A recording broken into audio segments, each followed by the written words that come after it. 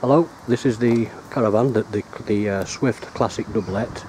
It's a four berth caravan and it was made in 1997.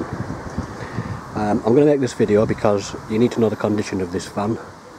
What does work, what doesn't work, um, what works on what, what doesn't work on what. Uh, so you can make an informed decision before you bid. Um, it's going to be on eBay at 99p. um, it'll run the full length of the auction I don't want to swap it for anything and I'm not taking offers. What it goes for it goes for. So bid assuredly that at the end of the auction this van will still be here. Um, we'll just take a quick look around it. I'll show you inside I'll do the outside first and show you the inside.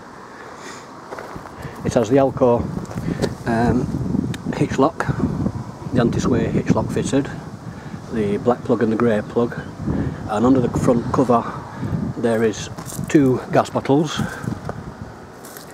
That gas bottle there is full.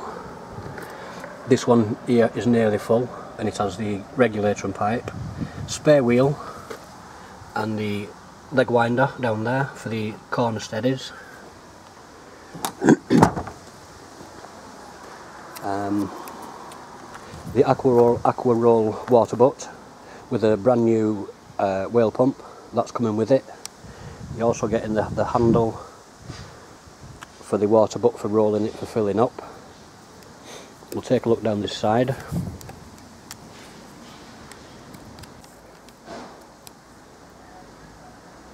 Just before we take a look inside we need to talk about um, dimensions and weights because this is quite a large caravan.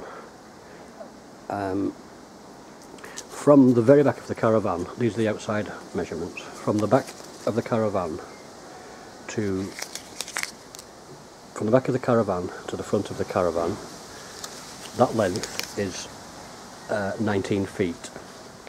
And from the, the back of the caravan to the front of the towing eye it's 22 feet. The caravan is 7 foot wide and approximately 9 feet tall um, it weighs unladen 950 kilograms and its maximum weight is 1200 kilograms. So to tow this caravan legally, your car would have to have um, a minimum curb weight of 1412 kilograms and that is important because anything less than that and um, you'll be towing the caravan legally. So just to run over that again, your car, its curb weight, which you'll find in the logbook, has to be at least 1,412 kilograms, and that'll achieve what they call um, an 85% ratio. That's between car and caravan. Um, and the nose weight is about 85%. Um, so them's the details, very important, you need to know that. We'll now take a look inside. Behind this door is the Thetford cassette toilet. This door can be some sometimes be a little stiff to open, um, but it, it, locks and unlocks, as does the one for leisure battery. All the locks work on the van. Um, what you do with this, this bottom section is your uh, wastewater cassette, and to remove it for emptying, you flip this little yellow plate down and slide it out. Now this comes all the way out, and you can carry it away to a drain, um, and you empty it by turning this around like this and screwing the cap off uh, tip it down the appropriate drain give it a flush with fresh water flush it tip it again empty it put a couple of litres of fresh water in and the blue fluid the blue fluid goes in the bottom. That's for breaking down matter and waste. And the top section is your flush for the Thetford cassette toilet inside. And all you do with this is when this when it stops pumping inside the van screw this cap off pour some pink fluid in here and then tip fresh water in until it's full. And that's your flush for your toilet. So that's your cassette toilet. Next to it we have the leisure battery and the point for the hookup. So behind the you have your battery there and you have your 240 volt hookup here. And this, this is just a pushing connector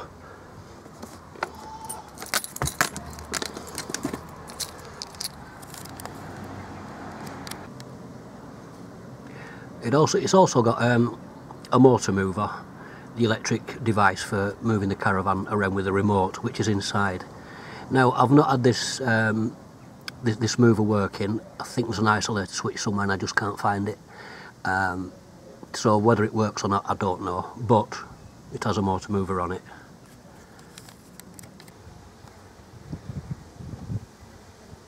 Um, it's fairly good across the back.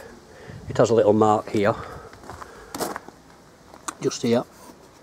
Um, the wastewater container, that's coming with it, and the pipes that just push into the connectors underneath. All the lights work.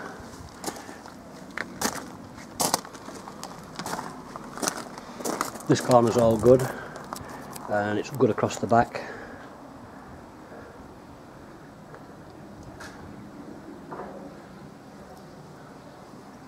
Down this side there's one or two little dings. Uh, there's one here. Here, just in this area. Little one there. Um, and one there. Caravan step, that's coming with it as well. This tyre's good.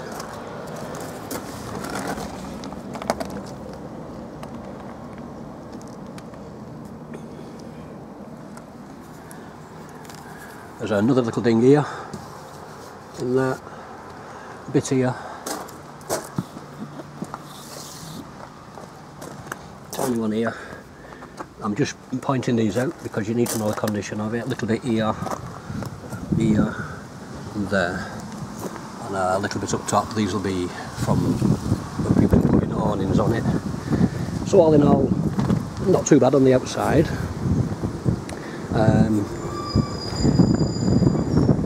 what I'll do next, I'll take a little video inside and then you can see what's going on in there.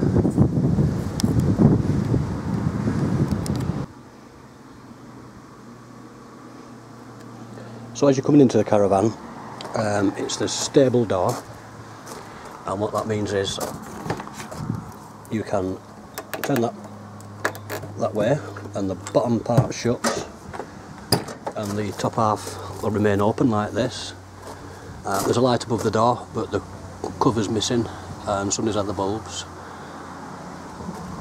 As you come into the van, up here is the override switch, the, the, the main switch for the lighting inside the van. But all the lights can turn off and on independently so I'll just leave them on for the minute. So as you come in um, you have the two 40 volt lights. These work on the hookup. Um, and there's spotlights in there. These are 12 volt now. The lights work. As I say you can turn them off and on to suit. So they're all on. Um, the one under the sink over the sink is on. And as you come in there's plenty of cupboard space above this diner area. And these here are the the uh, pelmets for for the windows. Pen in the backside to keep falling off. Excuse me French. Uh, yeah all dry in there. And in here.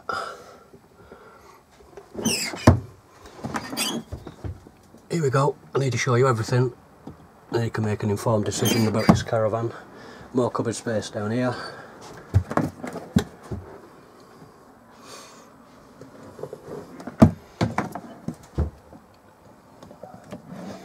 shelf across the front, above the windows, cupboards here, cupboards everywhere.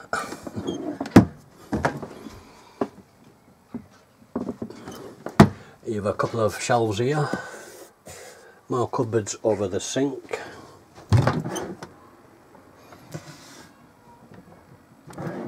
Next to it another cupboard and this has got like a, a, a tray uh, racking it for, for plates and cups and things. Now to the back of the van it's um, a separate washroom and shower and it has a sliding door here that makes it private from the rest of the van. And all you do is you just pull that down and slide this door across like this. So it separates the bathroom and the shower area from the rest of the van and here is the uh, a table which I'll show you later. So when the door, when you're moving, leave the door open, tip it back so the door doesn't rattle about everywhere and that table behind there doesn't fall over. As you come into the bathroom, um, you come to a vanity unit with a cupboard above.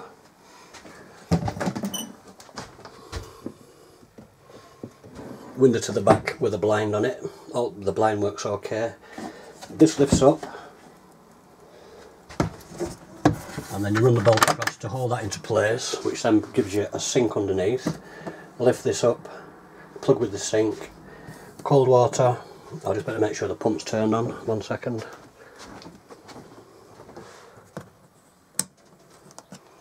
Yep, so cold water, I've got the cold water, just pushing air out, so I'll just let it, there you go, cold water and hot water. Now hot water gets hot in this van and there's two ways to get hot water in this van which I'll show you as I'm going round. So those taps work. Uh, shower base, shower taps and shower head. There's a vent above, a light and to this side there's a perspex door and this pulls, release this catch and this pulls too and shuts like this.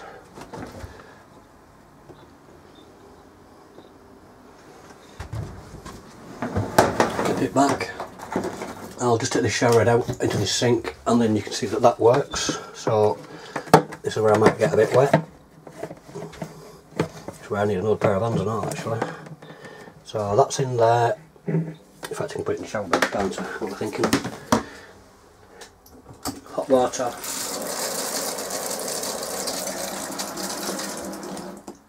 Cold water.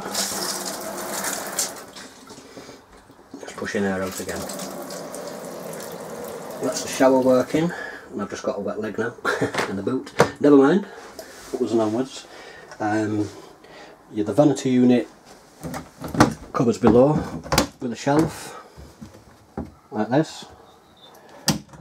Next to the vanity unit you have a wardrobe with a cupboard above and this wardrobe just opens up like this and you've got your hook there for coat hangers and things and the door just falls back like that. Cupboards above, they do the same, concertina back, cupboard in here. So this is above the this is the wardrobe. You have a vent above. Hello. uh, toilet, the Thetford cassette toilet. This is it. Lift the lid and the seat and to operate this toilet in here there's a gate that flaps back and you move that back by turning this that opens it um, do your business with that open and then you flush it by doing this fluid I was talking about uh, earlier on the outside and that's now dropped into the cassette that has the blue fluid in it. And below it you have a, you have a, a level indicator. When it's green it's fairly empty and as it fills up it moves to red. And when it's getting to that stage it's time to uh, clean it out. so to the right this area makes up into a double bed which I'll set up in a minute and show you. The front, the front makes a double bed which I'm going to set up and show you that as well. Um, the cooker these two rings work but these back ones don't so uh, in fact I'll light, I'll light it all up and let you have a look so this is the cooker lit um, can you see the flame on it I wonder. I hope, oh yeah you can see the flame. So the two front ring rings work the back two don't. I'll turn them off. And below below that there is the grill. The grill's lit and a grill pan as well. And then below the grill is an oven. The oven's on the oven's lit I'll just turn that off because it's red hot in here. Nice day in West Yorkshire again. So oven works, grill works, two front rings on the hob work, the two back ones don't. Uh, next to the cooker is the fridge and unfortunately the, the fridge doesn't work. To the right of the fridge is a gas fire. The gas fire works and above the gas fire is a couple of drawers. Like so. Uh, and the sink with the plug, plugs there. Um, hot tap. Water gets lovely hot in here. Hot tap, cold tap, all the taps work in the van. To the right of the sink you have the controls for the blown air heating system so although the gas fire works you can either use a gas fire or if you use this system it blows uh, hot air out through vent outlets in the van. Um, one down there. There's one under the vanity sink there. In there.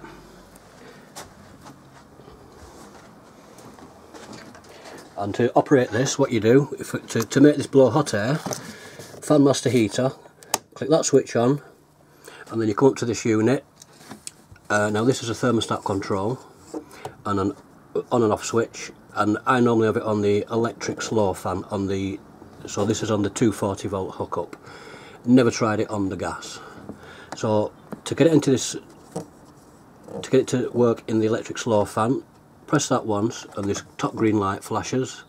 Now I want it in this position so it's one two three four. Now what's happening is there's a light there that goes steady and what it does it operates a, uh, an electric fan that blows hot air around the van. Very very effective very easy to use. I'll just turn that back off. Next door is a 240 volt household plug socket that works. And above here is um, a jack for a TV aerial and a 12 volt plug socket for a 12 volt TV um, to operate the television system. Where the leisure battery is to the left of the leisure battery there's the electric hookup then below that there's two TV aerial sockets. So you need an outside TV aerial to run a TV in this van. Above there is a, a carbon monoxide um, alarm uh, probably could do with a brand new battery just to keep safe. Now the hot air water system in uh, the, the, hot water system in this van at the minute um, can work two ways. One is by this control, you press that button, the top light comes on and it's working on the gas. Or down here, which is a more effective way of getting hot water, water heater, you just click this on, it lights up and that's all you have to do to get the hot, hot water working in this caravan on the 240 volt hookup lead. Very simple, just on and off. So what I'm going to do next, I'm going to I'm going to make up this bunk and I'm going to make up this double bed and I can show you that. And all this, the way to make up this double bed is, um, I'll just show you, there's a drawer below here for access, for storage, and there's a little toggle there, push that up, push the door in and then put the toggle back down and it holds the door and there's also a cupboard space here which I've forgotten where you would stand a TV and another hot air blown vent here. Right beds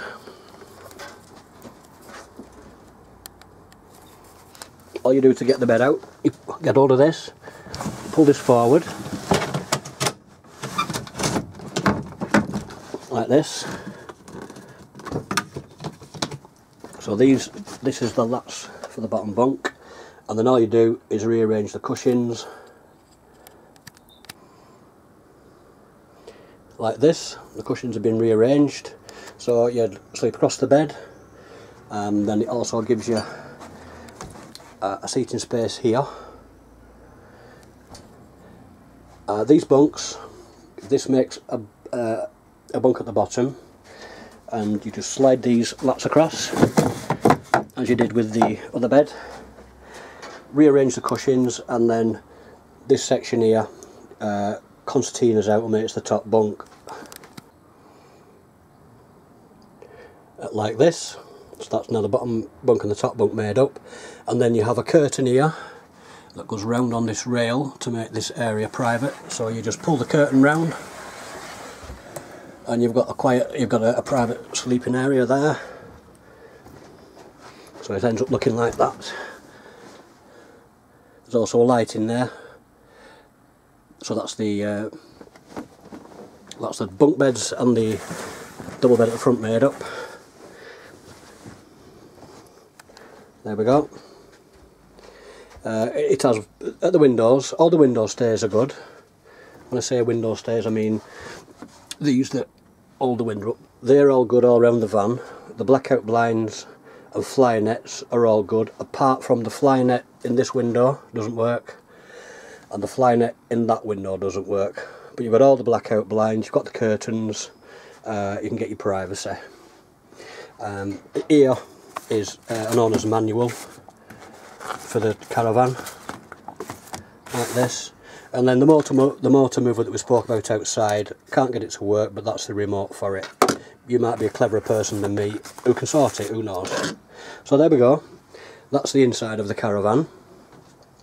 Um, remember it's going on eBay, I'm going to set it off at 99p, uh, it'll, it's going to run for seven days, I don't want to, any offers on it, I don't want to swap it for anything, it's going on auction, it'll stay on auction, so you've now looked at this video, you can make an informed decision whether it's for you or not, um, and it will be there, the caravan will run the full length of the auction, and uh, happy bidding.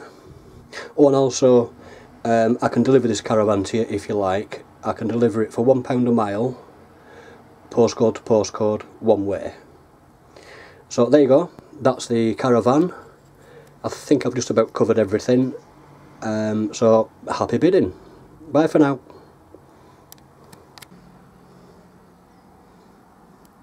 Oh, sorry, I forgot to add just before we go. Um, the floors are solid in this caravan. Um, there's no water leaking in, and there's no um, damp, musty smells. Thanks for now. Bye.